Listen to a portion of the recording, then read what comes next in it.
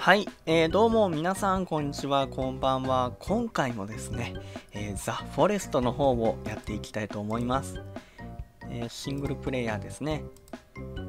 こんもう30日ですね生き残ってるってことで。生き残ってるまあ何回か連れてかれたけどなんとか生きてるっていう感じですね。いやでもあれだよね。フォレストってさなんかのんびりできるからいいよね。でもね最近は敵の襲撃も多くなってくるくらいくらいや怖いよ。どうなってんの？ああ最近はさ敵の襲撃もなんか増えてさ大変なんだよね。おここに骨を入れれる？作作ったっけ？こんなの。あれこんなの作ったっけ？お記憶にないな。記憶にないがとりあえず。いやでもあれだよね。あのー、さあ。あー葉っぱが勝手に飛んでった。前回だったかなあの敵さんのさボスボスみたいなやつとさ戦ったじゃん。あのあいつにまあ因縁があってさ僕個人的に。あいつに何回やられたことか。大切な大切なね僕のお家がさ何回も何回もさやられてるんですよ。ちょっとねそれ許せないよね。せっかく大切にさ作り上げてきた僕のお家をさ何回も何回も壊すからさ。もうね無惨様以上に許せないと思って ごめんなあの最近はあの「鬼滅の刃」って知ってますか？鬼滅の刃っていうまああアニメ？アニメ、まあ、物語？そういうのがあってあのー今今というかまあちょっと前から巷で非常にですね有名というか非常にねブームになってて日本中が。世界中かな？それに私もね、えー、ドハマりしてしまいまして。ね多分最近その動画ばっかり YouTube の方上げてると思うんだけど。もうねおーシンクロしてる。鹿がシンクロしてるよ。なかなか貴重な瞬間ですね。鹿がさあえて2体一緒にさシンクロするってなかなかないよね意外と。暗いね。と鹿さんね。ああな何やってんのかと思ったよ。ついにこのゲームバグった？と思ったもん。そういうことね。ああびっくりした。何かと思っちゃったよ。あのー、鬼滅の刃っていうのはあのー、まあ鬼がいる世界ですね。まあ日本国。大正時代の日本を舞台にしてるんですがあのー、まあ家族をの鬼にね、えー惨殺されてしまった。妹も鬼にされてしまったと。いうところからスタートする物語なんだけど、まあ、そこで主人公ですね。かまど少年かまど炭治郎くんが、まあ、ちょっと頑張って頑張って頑張って鬼を倒す倒す、まあ、妹を元に戻すための方法を探るそういうね物語になってます。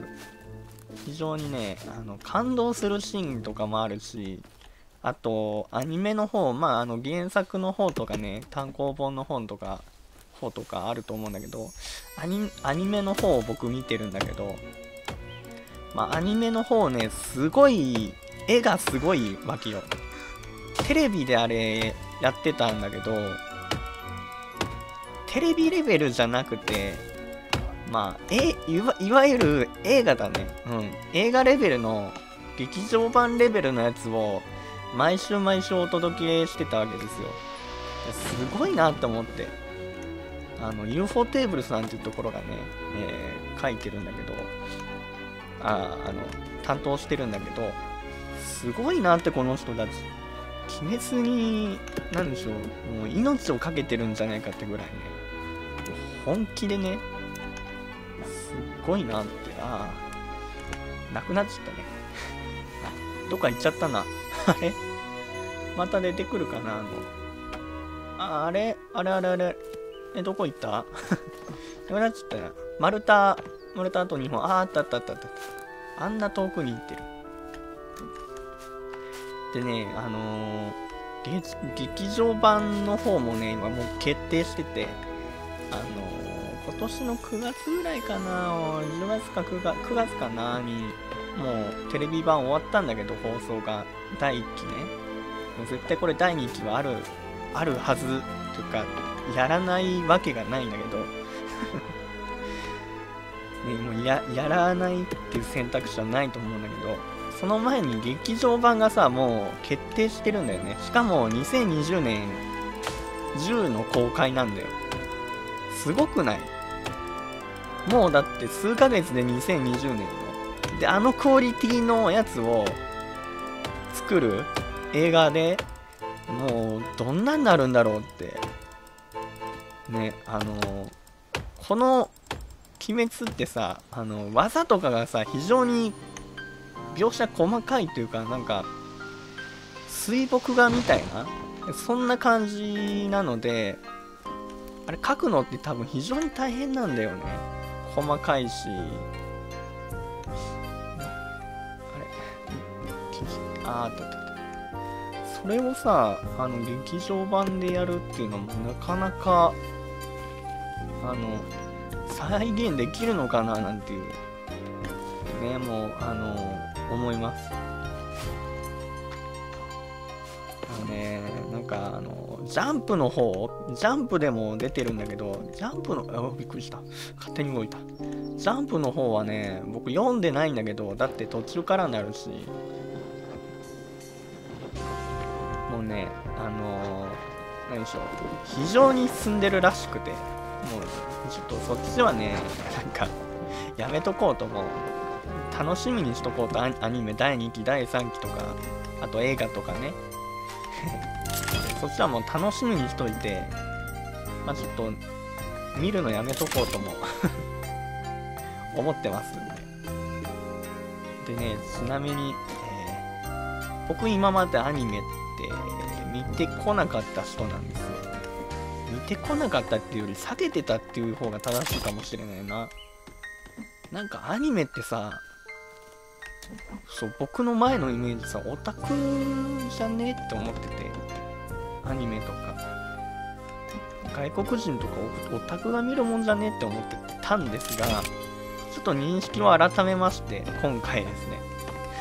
意外と意外と思ってたのと違うなとあのー、鬼滅の放送終わってからね鬼滅の刃見返したいなとか見たいなと思ってさ、ABEMATV でさ、鬼滅のこの間、一挙放送とかやってたから見たんだけど、ABEMATV でやるって言うから見たんだけど、ABEMATV すごいね。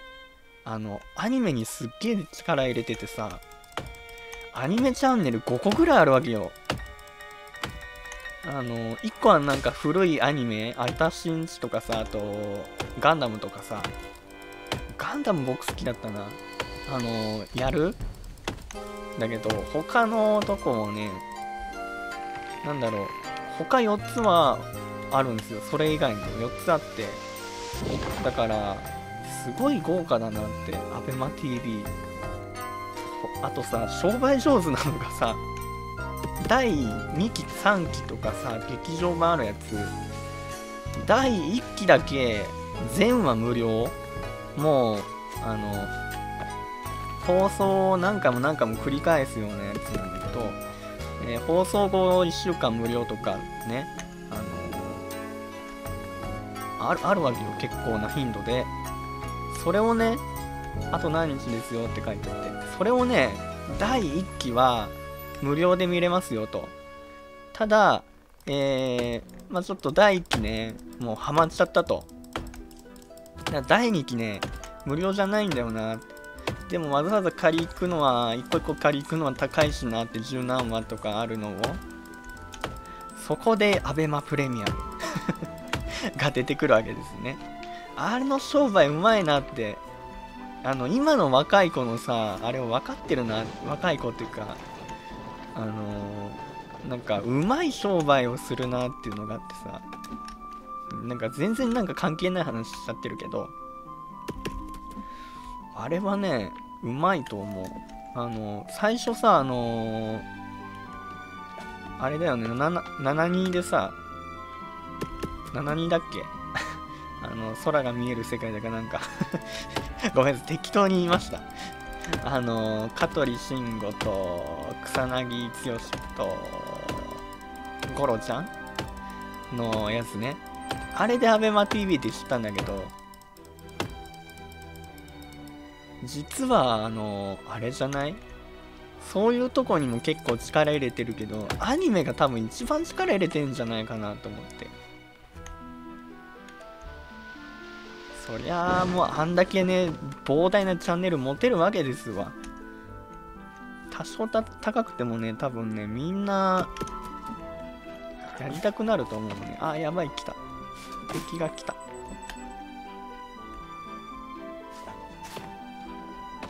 っと待ってね。ちょっと待ってね。よいしょ。あ荷物を取り行ってきました。あー疲れた。階段降りるのさえ疲れると。今ななんかあの敵来てたよねどっか。敵の声しないし敵の姿見えないけど。いた。引くよ引くよ。どいて。どいてくれると嬉しいな。どいてちょうだい。叫ばない叫ばない。危ない危ない危ない。危ないよ。どいてどいて。どいてどいて。あの通行妨害しないでね。道交法違反だから。道交法違反。さあちょっとあのなかなか襲ってこないのでいいでしょうもうやっちゃいましょう。あの待ってるのめんどくさい。あの見ててもらいましょう。観客ですね。あの君たちもねこうやってやればねこういうすごいの作れるからさ。君たちもぜひぜひねどうぞ。こういうこういう建築のさ技術さ学んでちょうだい。もういいよ勝手に盗んでっていいからさ。ちょっとうるさいな。ね。そこの生徒ちょっと黙ってなさい。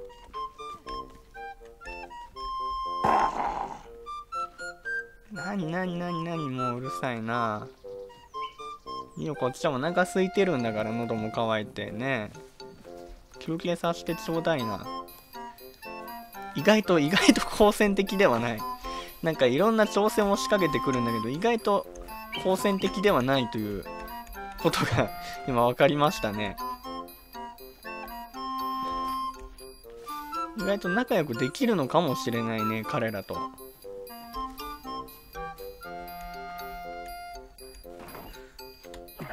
仲仲間内でなんかやってる。そういうやつらです。うんうまいうまい。機内食毎回こうやって完備してくれるんですよね。優しいよね。そこの機内食だけで食べにくいんだよな場所が。なんかガチャガチャ言ってますが。なんかやかましいですが。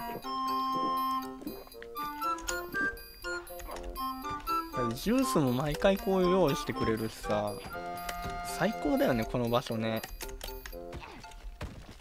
うん僕としてはこの場所最強かなって思ってて。毎回この緑もあるし、まあ、確かにあのもっとダイナマイト毎回取れる場所とかあるんだけど。まあでもいいじゃないと。いいじゃないとこの場所をこんなにさ食事も用意してくれるしさ。しいじゃないと。運営さん最高じゃないということですね。なんかやかましいな外が。そうそう。あのー、本当にね最近アニメがハマってしまってさそれ以降 ABEMATV で「鬼滅」を見て以降生放送見て以降、アメバ TV、どんなアニメあるんだろうなって 気になってさ、見てみたわけですよ。したらね、すごいね。なんかややってるな、あそこで。あのー、昔小説になろうか何かで読んでた賢者なんだっけ？賢者の孫？なんかで読んでたんだよねあれがさアニメ化されててさ知らぬ間に。で偶然やっててさえちょっとあれやばくない？偶然やっててね見たんだよ。あアニメって違うよ。オタクとかそういう見るのだけじゃないよと。ね？なんかねこういうのもあるんだねって思っ賢者の孫面白いんで皆さんぜひともねあの調べてみてほしいんだけどあそこまでねあそこまで、えー、強いと逆にいいなとすっきりするなっていうような感じなんだけど。あれね今絶賛放送中なのかな？東京 MX かどっかで。ずるいよ。ずるいよ東京 MX 静岡県映んねえよ。ねえ。静岡はね NHK2 つとあと SBS まあ TBS 系の SBS と朝日テレビ静岡朝日テレビとえ第一テレビだね。しかないよね。他のところってもう1曲あるよね。もう1曲ぐらい。東京 MX みみたいなのさ。静岡県ないんだよ。てかアニメ全然放送しないんだよ。どういうこと？どういうねえ。どういうこと？どういうこと？あ消えたねやつら。よしよし。あのちょっとねそこがさあのずるい。ずるい。あんだけアニメの舞台になったりしてるのにさそりゃねあー壊されてるじゃん。ちょっとまマジ？え？おいおいおいおいおい冗談だろ。ちょっと待ってお前たちそこ壊して出てったっていうのか。ななんてやつらだおい。何も襲わずにさただ壊していくっていう。ひどいな。そんじょそこらのやつよりひどいぞこれ。ちょっとふざけて。ふざけてるよちょっともういやいやられたなこれ。ここがさ多分この家の一番の弱点なんだよね。でもさ出にくいもん。正直言うとね出にくいんだよこれ。このこのこっち側のさあのあれ。判定がよくわかんねえもん。だからさそっから出る気しないんだよね。正直言うと。そう。えー、まああの賢者の孫という面白いアニメを今回ご紹介。ほぼ鬼滅の話しかない。えっとね賢者の孫っていうのはねあのー、まあ転生ものなんだけどね転生物語ものなんだけど僕そういうのけそういう小説結構好きで小説になろうでいろいろ検索してるんだけどあのー、転生ものでえー、あのま魔物がねいる世界、ま、魔法がある世界ですね。にえー、まあ主人公、えー、が転生しましたと。でそこで赤ちゃんからですねえー、赤ちゃんになってそこから育てられていくわけなんだけど赤ちゃんの時に、まあ、親がねとね出かけてたら馬車でね馬車かなんかね。そしたらねあのー、まあモンスターにやられてしまったと。でね唯一生き残ったのがその僕僕ですよっていう感じですねそういう感じのあのー、あれなんだけどあれ？丸太が消えた。どういうことですか？丸太が消えたではないか。そういう感じのやつなんだけど、本当に丸太が消えたな、おい。ここよく起きるんだよね、こういう現象。まあいいや。その、そのね、拾われてね、そのまんま、あの、偶然通りかかったね、ご老人に。そしたらそれがね実はあのこの国有数のね賢者様だと。いうことで。でそっから賢者様とかにね訓練つけてもらって強くなるんですがその強さっていうのはまあまああの桁が違うと。一般常識かけ離れてますよレベルのね強さになっちゃったわけですね。でそこからどうくるどういう風にしていくの暮らしていくかなっていうところですね。まあ強すぎるんでも 常識知らずだし強すぎるからね、山で育ったからあんまり常識もあんまりわかんないと。じゃあちょっとうちの学校に来いということで、あの国王様から言われてですね、魔法学校に入学することになったわけですね、主人公が。そこからの、えー、物語という感じですね。はい。まあ、それが賢者の孫っていう、まあ、アニアニメっていうのかなの全容になるんだけど、まあ、魔人という存在がいて、まあ、それはね、もう国をね、滅ぼすかのごとくの強さを誇るんだけど、その魔人の出現、それに翻弄されながら暮らしていく人々、まあ、というような、それを主なあれかな。で、そこに立ち向かう主人公みたいな物語になってる感じですね。はい、復活復活なんか飛び出てるけどいいや。ねなんか若干飛び出てるけどなんか不格好だけど。まあいいよ。で、えー、まあそれがまず一つなんだけど、まだ時間あるね。あのもうないね、時間もういかんとかんくなっちゃうね。今日は、今日はそこで終わりましょう。あと1分ぐらいしたらアラームが鳴っちゃう目覚まし時計の。今日夜勤なんですよ。じゃあ、じゃあ、あのー、まあなんか、話の途中なんでまた次回ね、また僕のおすすめのアニメをご紹介できればと思います。いつの間になんかアニアニメ野郎になったんだという感じですが、えー、今回もご視聴のありがとうございました。